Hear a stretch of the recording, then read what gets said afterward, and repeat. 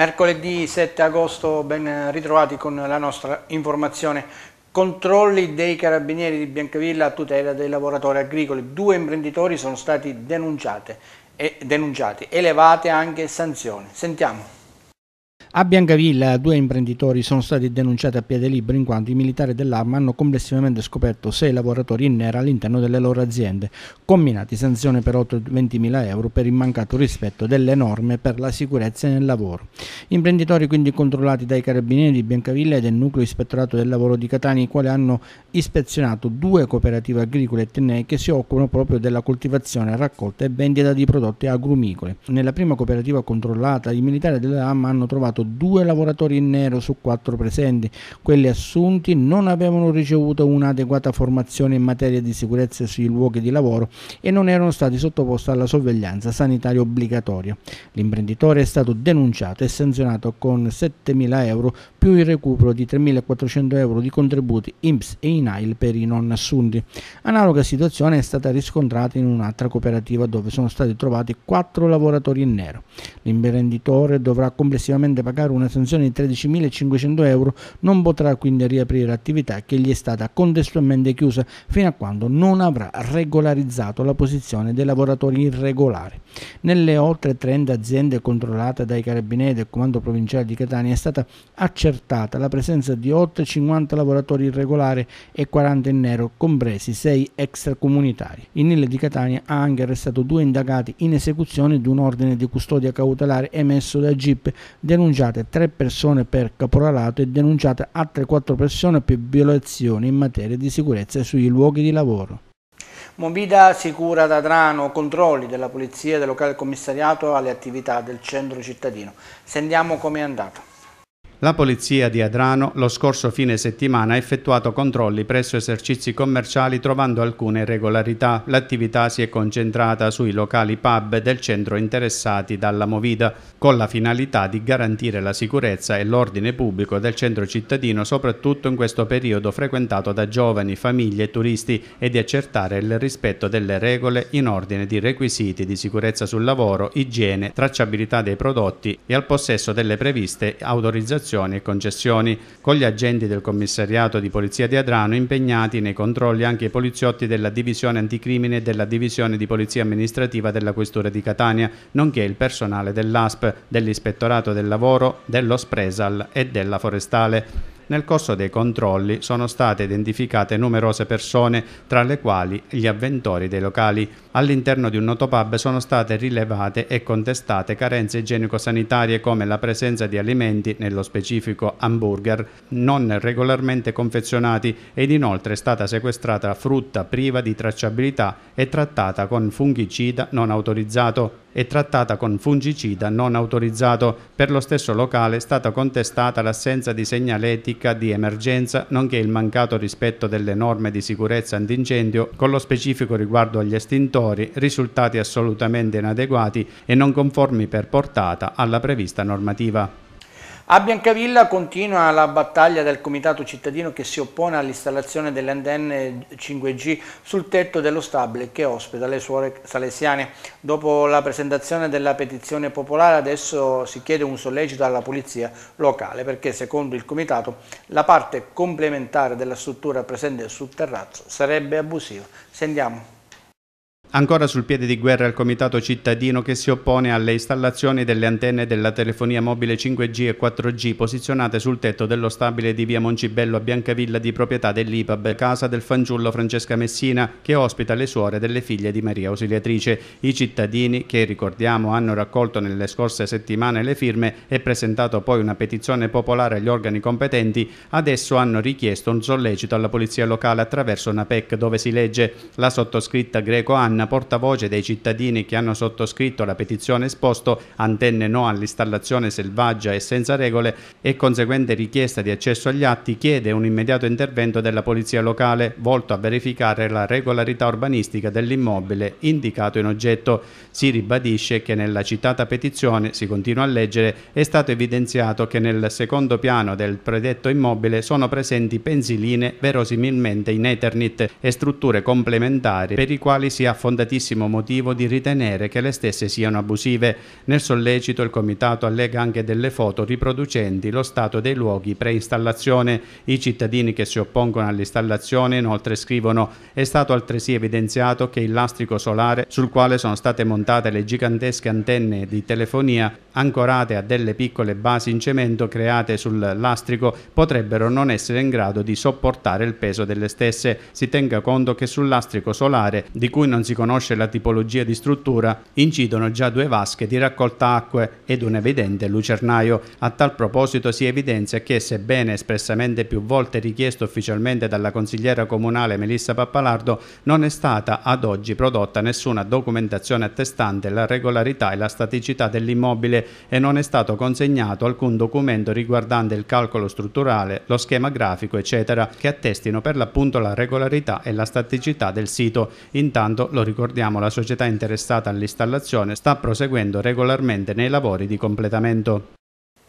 La regione siciliana per fronteggiare la crisi idrica mette in campo 15 milioni di euro che serviranno quindi a finanziare interventi da parte di imprenditori privati ma anche di enti pubblici. Vediamo di che si tratta.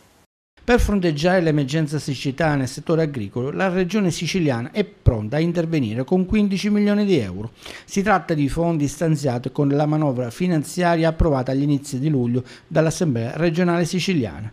La Commissione Attività Produttiva di Palazzo del Normanni, infatti, quest'oggi, alla presenza dell'assessore all'agricoltura Salvatore Barbagallo, ha dato parere favorevole all'avviso pubblico firmato dal dirigente generale del Dipartimento Dario Cartabellotta che stabilisce le modalità di attuazione attuazione della norma. Le risorse saranno destinate all'80% alle istanze degli imprenditori agricoli, anche in forma associata, e al 20% ai comuni. È un aiuto concreto ad agricoltori ed enti locali siciliani, dice il presidente della regione Renato Schifani, in un momento di grave difficoltà per la persistente siccità.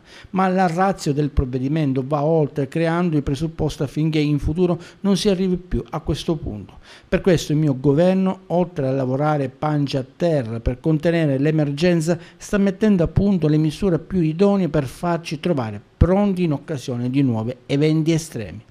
I pozzi e gli impianti di raccolta e di accumulo di acqua che saranno finanziati serviranno infatti anche per eventuali future crisi alle quali dovremmo far fronte visto l'ormai conclamato cambiamento climatico, ha concluso così il presidente Schifani. Possono essere finanziati gli interventi di captazione, raccolta e stoccaggio delle acque per uso agricolo e zootecnico, costruzione di nuove vasche e serbatoi per la raccolta delle acque, realizzazione di nuovi pozzi o per il miglioramento di quelli esistenti. Sarà possibile quindi coprire in ossequio ai regolamenti dell'Unione Europea l'80% degli interventi realizzati dagli agricoltori e il 100% di quelli degli enti pubblici.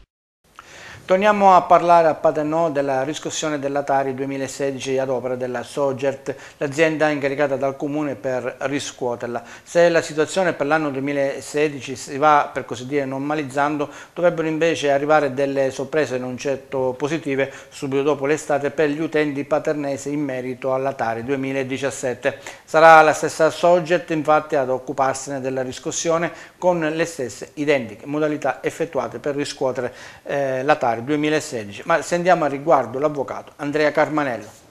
Al momento, per quanto concerne la riscossione delle somme coattiva, possiamo dire che è stato tutto sospeso, nel senso che le somme che sono state trattenute eh, risultano essere non incassate o se incassate solo ed esclusivamente la prima e la seconda rata, rispetto a quella che dovrebbe essere, diciamo così, l'ammontare eh, del debito contratto dal singolo cittadino, perché ehm, se facciamo riferimento mh, ai pignoramenti delle buste paga, così come delle pensioni, è chiaro che l'intera somma non poteva essere percepita, ma sulla base dello scaglione di proporzionalità si arrivava a contrarre fino a un massimo di un decimo.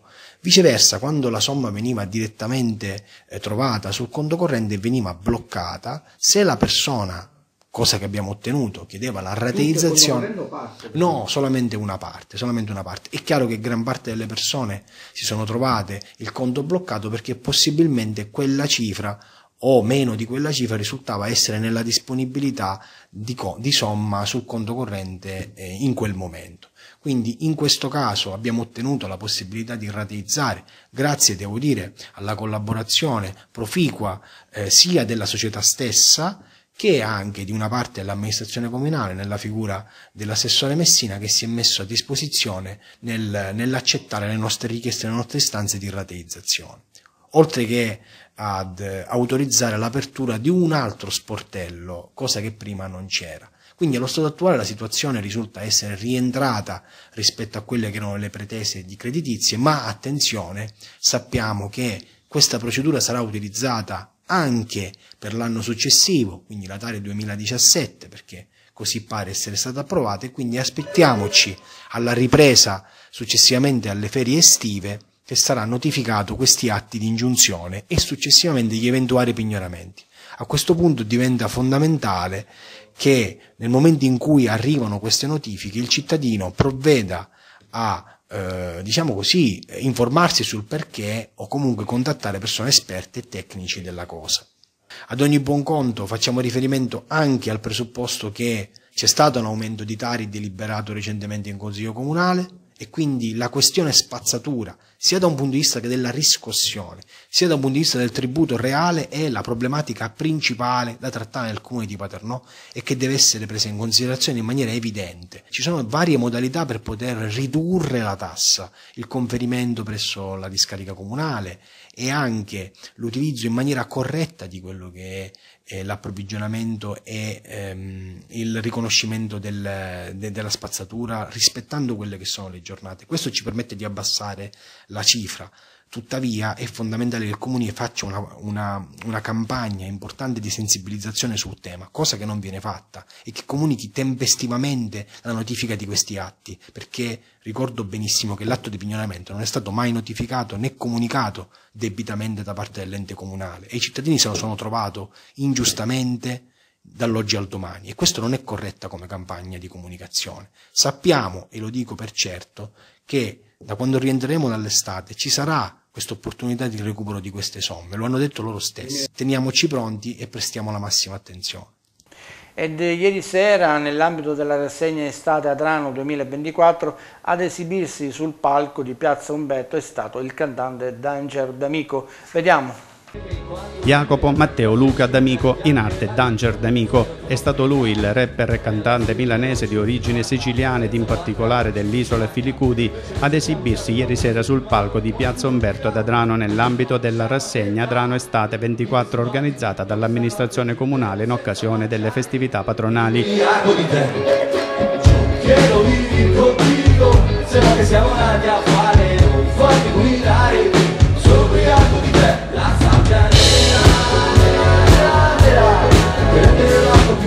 che è anche produttore discografico e disc jockey, ha intrattenuto il pubblico accorso anche da altri centri cittadini con le sue canzoni.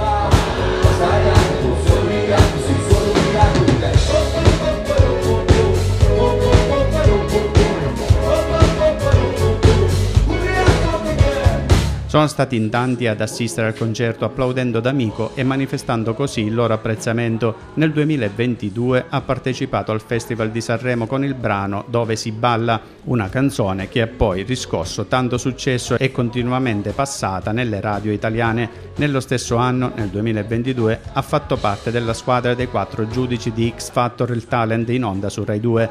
Ha partecipato al Festival di Sanremo anche quest'anno con il brano Onda Alta, classificandosi al ventesimo posto, un brano che ha un significato particolare e fortemente attuale, ovvero la questione migranti che nonostante i fortissimi rischi di morire in mare arrivano in Italia con le barche.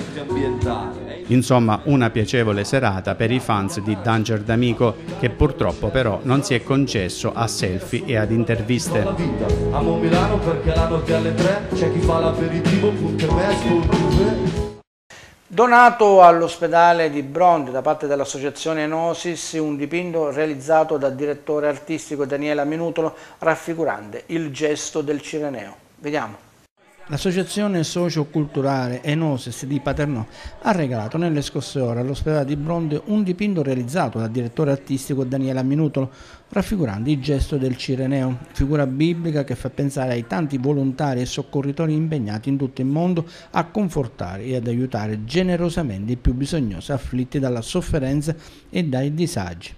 Il dipinto in questione, utilizzato per rendere ancora più suggestiva la quinta stazione dell'evento Pasca 2024 organizzato dalla Proloco di Paternò, è stato consegnato dai vertici di Enosis ai responsabili del nosocomio brundese affinché quell'immagine realizzata su pannello di cartoncesso possa mantenere viva la consapevolezza, dicono i vertici di Enosis, che in ogni persona che si spende per aiutare il prossimo vi è un Simone di Cirene disposto a partecipare alle sofferenze altrui. Presenti alla consegna del dipinto il direttore sanitario dell'ospedale Salvatore Pillera, l'addetto all'amministrazione Pippo De Luca, diversi medici e infermieri dell'ospedale, oltre ai vertici e volontari dell'associazione Enosis. Un gesto molto apprezzato da tutti i presenti, ha commentato il presidente di Enosis Riccardo Longo, che ha ringraziato per la gentile accoglienza e ammirazione nei confronti della bellezza e del significato stesso del dipinto donato. Non ci sono novità dell'ultima ora, con questa, con quest'ultima notizia si chiude questa edizione, a me non resta altro che salutarvi e darvi appuntamento alle prossime edizioni. Una buona serata.